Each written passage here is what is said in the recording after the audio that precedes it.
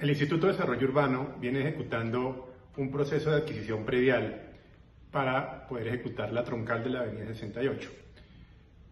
Quiero primero poner en contexto las cifras sobre la troncal de la Avenida 68 en materia de predios.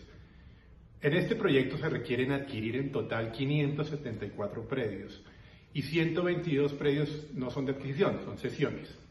¿Qué pasa con estos 574 predios que se van a adquirir? Esos predios, hasta la fecha, eh, solamente hemos recibido 30, 30 de 574.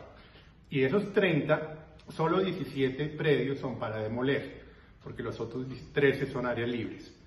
¿Qué significa? Que en este momento nuestra responsabilidad desde el IDU recae sobre esos 17 que hay que demoler. De esos 17, hay 4 en la zona del, del barrio Milenta y hay otros 4 en Tejar y Los Ángeles que tiene que ver precisamente con las denuncias que se han dado en estos días relacionadas con, los, eh, con el vandalismo eh, de grupos que se dedican a vandalizar estas edificaciones, generando lógicamente focos de inseguridad. Pero lo importante era contextualizar el número de predios que hasta ahora hemos adquirido, es decir, que hasta ahora hemos recibido y que son para demoler, que son solo 17. ¿Qué es lo importante frente a lo que viene y al compromiso que hace el IDU hacia adelante? Que por delante vamos a tener que eh, recibir muchísimos más predios y entrar a demoler de forma inmediata y muy contundente. Y eso se logra con un contrato que la entidad está en este momento legalizando, tanto el contrato de demolición con, un con una empresa dedicada a eso y su respectivo interventor.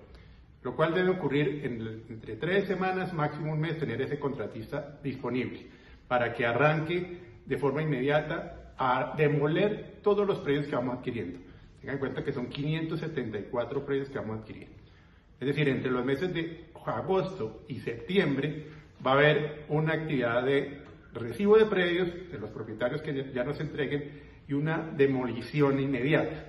Con la demolición que hagamos de inmediata, o sea, recibimos el predio cuando el propietario ya ha cumplido todos los requisitos, para entregarlo lo recibimos y entramos a demoler.